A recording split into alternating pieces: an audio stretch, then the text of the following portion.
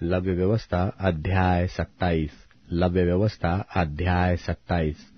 फिर यहोवा ने मूसा से कहा इसराइलियों से यह कह कि जब कोई विशेष संकल्प माने तो संकल्प किए हुए प्राणी तेरे ठहराने के अनुसार यहोवा के होंगे। इसलिए यदि वह बीस वर्ष व उससे अधिक और साठ वर्ष से कम अवस्था का पुरुष हो तो उसके लिए पवित्र स्थान के शेकेल के अनुसार पचास शेकेल का रुपया ठहरे। और यदि वह स्त्री हो तो तीस शेकेल ठहरे। फिर यदि उसकी अवस्था पाँच वर्ष व उससे अधिक और बीस वर्ष से कम की हो तो लड़के के लिए तो बीस शेकेल और लड़की के लिए दस शेकेल ठहरे। और यदि उसकी अवस्था एक महीने व उससे अधिक और पाँच वर्ष से कम की हो तो लड़के के लिए तो पाँच शेकेल और लड़की के लिए तीन शेकेल ठहरे। फिर यदि उसकी अवस्था आठ वर्ष की व उससे अधिक है तो वह पुरुष हो तो उसके लिए पंद्रह शेकेल और स्त्री हो तो दस शेकेल ठहरे। परंतु यदि कोई इतना कंगाल हो कि याजक का ठहराया हुआ दाम न दे सके तो वह याजक के सामने खड़ा किया जाए और याजक उसकी पूंजी ठहराए, अर्थात जितना संकल्प करने वाले से हो सके, याजक उसी के अनुसार ठहराए। फिर जिन पशुओं में से लोग यहोवा को चढ़ावा चढ़ाते हैं, यदि ऐसों में से कोई संकल्प दिया जाए तो जो पशु को कोई यहोवा को दे, वह पवित्र ठहरेगा। वह उसे किसी प्रकार से न बदले। न तो वह बुरे की संति अच्छा और न अच्छे की संति बुरा दे। और यदि वह उस पशु की संति दूसरा पशु दे तो वह और उसका बदला दोनों पवित्र ठहरेंगे। और जिन पशुओं में से लोग यहोवा के लिए चढ़ावा नहीं चढ़ाते, ऐसों में से यदि वह हो तो वह उसको याजक के सामने खड़ा कर दे। तब याजक, पशु के गुण, अवगुण दोनों विचार कर उसका मोल ठहराए, और जितना याजक ठहराए, उतना मोल, उतना ही उसका ठहरे।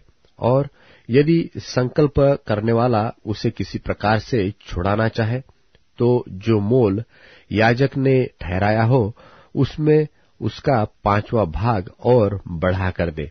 फिर यदि कोई अपना घर यहोवा के लिए पवित्र ठहराकर संकल्प करे तो याजक, उसके गुण अवगुण दोनों विचार कर उसका मोल ठहराए, और जितना याजक ठहराए, उतना मोल उसका ठहरे।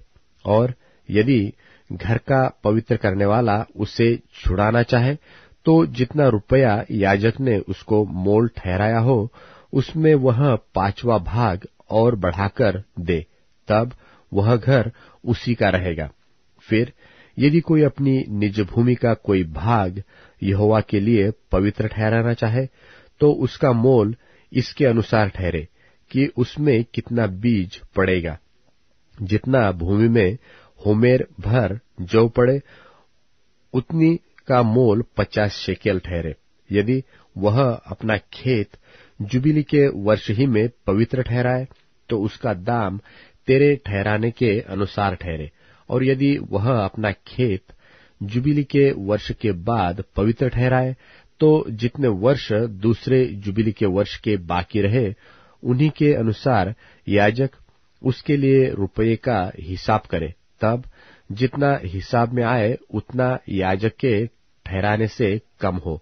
और यदि खेत का पवित्र ठहराने वाला उसे छुड़ाना चाहे तो जो दाम याजक ने ठहराया हो, उसमें वह पांचवा भाग और बढ़ा कर दे, तब खेत उसी का रहेगा। और यदि वह खेत को छुड़ाना न चाहे, व उसने उसको दूसरे के हाथ बेचा हो तो खेत आगे को कभी न छुड़ाया जाए। परंतु जब वह खेत जुबली के वर्ष में छूटे, तब पूरी रीति से अर्पण किए हुए खेत की नाई यहोवा के लिए पवित्र ठहरे। अर्थात वह याजक ही की निज भूमि हो जाए।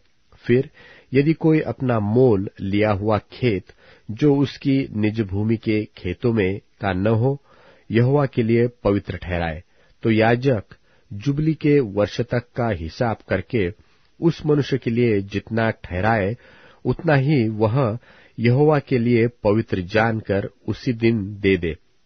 और यदि जुबली के वर्ष में वह खेत उसी के अधिकार में जिससे वह मोल लिया गया हो, फिर आ जाए, अर्थात जिसकी वह निज भूमि हो, उसी की फिर हो जाए, और जिस जिस वस्तु का मोल याजक ठहराए, उसका मोल पवित्र स्थान ही के शेकेल के हिसाब से ठहरे, शेकेल बीस गेरा का ठहरे। परंतु घरेलू पशुओं का पहलौठा जो यहोवा का पहलौठा ठहरा है, उसको तो कोई पवित्र न ठहराए, चाहे वह बछड़ा हो, चाहे भेड़ व बकरी का बच्चा, वह यहोवाही का है। परंतु यदि वह अशुद्ध पशु का हो तो उसका पवित्र ठहराने वाला उसको याजक के ठहराए हुए मोल के अनुसार उसका पांचवा भाग और बढ़ाकर छुड़ा सकता है, और यदि वह न छुड़ाया जाए तो याजक के ठहराए हुए मोल पर बेच दिया जाए। परंतु अपनी सारी वस्तुओं में से जो कुछ कोई यहोवा के लिए अर्पण करे, चाहे मनुष्य हो, चाहे पशु, चाहे उसकी निज भूमि का खेत हो, ऐसी कोई अर्पण की हुई वस्तु न तो बेची जाए और न छुड़ाई जाए। जो कुछ अर्पण किया जाए, वह यहोवा के लिए परम पवित्र ठहरे। मनुष्यों में से जो कोई अर्पण किया जाए, वह छुड़ाया न जाए। निश्चय वह मार डाला जाए। फिर भूमि की उपज का सारा दशमांश, चाहे वह भूमि का बीज हो, चाहे वृक्ष का फल, वह यहोवा ही का है। वह यहोवा के लिए पवित्र ठहरे। यदि कोई अपने दशमांश में से कुछ छुड़ाना चाहे तो पांचवा भाग बढ़ाकर उसको छुड़ाए और गाय बैल और भेड़ बकरिया, निदान जो जो पशु गिनने के लिए लाठी के तले निकल जाने वाले हैं, उनका दशमांश अर्थात दस दस पीछे एक एक पशु यहोवा के लिए पवित्र ठहरे। कोई उसके गुण अवगुण न विचारे और न उसको बदले, और यदि कोई उसको बदल भी ले तो वह उसका बदला दोनों पवित्र ठहरे और वह कभी छुड़ाया न जाए। जो आज्ञाएँ यहोवा ने इसराइलियों के लिए सीनई पर्वत पर मूसा को दी थी, वे यही है।